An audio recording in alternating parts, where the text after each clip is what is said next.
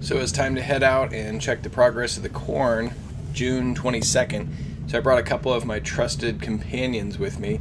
They're always good scouts and make it more fun to go walk the fields. And as you could tell, they're pretty excited. And I was excited to have them with me.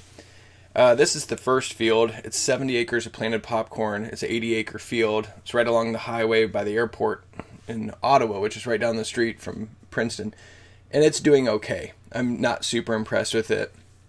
Happy to have it planted, but I've seen better corn, and uh, we'll get there. It'll probably mature out fine, but it's not as good as my other field.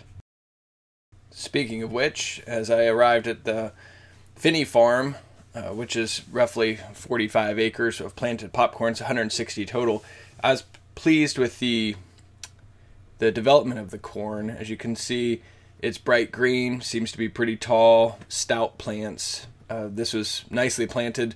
It's all evenly spaced. I see a few misses here and there.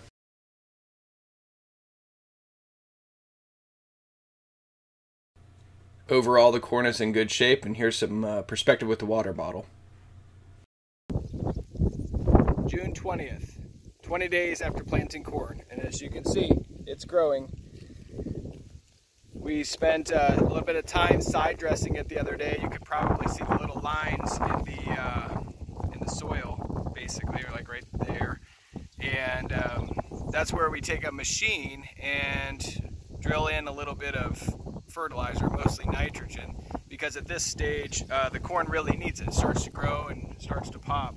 But it's wet out, and we've had some good rains. We're gonna have a lot of rain tonight and it's about 90 degrees or has been all day. It's cooled off just a little bit right now, but it's very hot and muggy, which is uncomfortable to a lot of people, but it's perfect for growing corn. So I'm really happy that we've got it. We've got some a little bit of wind, as you might hear on the video, which will help evaporate some of the moisture. So I'm glad we've got more rain coming to make up for that. And quite frankly, the wind is probably part of the weather system that's moving in. So it's all tied together. But after 20 days of growing, I'm very pleased. And I've walked all around the, the field and it seems to be in really good shape and probably 95% of the field.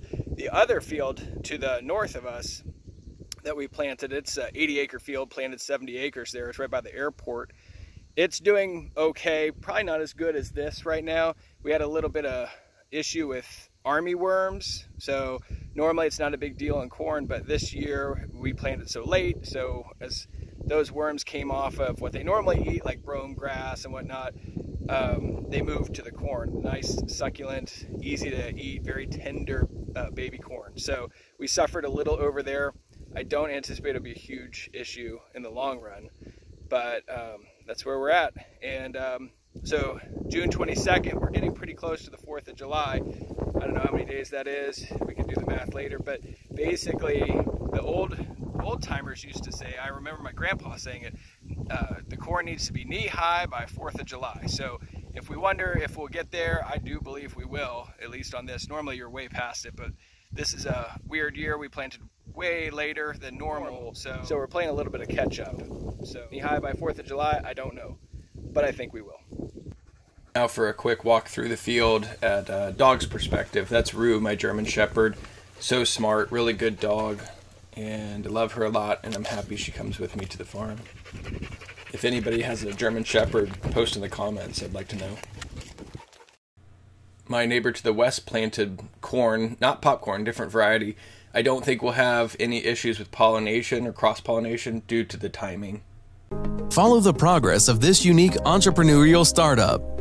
Like the Princeton Popcorn Facebook page, follow our Instagram, and subscribe to our YouTube page. Be sure to click notifications on Facebook and click the notify bell on YouTube.